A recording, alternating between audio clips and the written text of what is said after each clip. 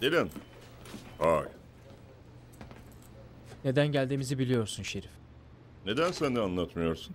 Çünkü orada ne olduğunu sen de çok iyi biliyorsun. Bunlar intihar falan değil.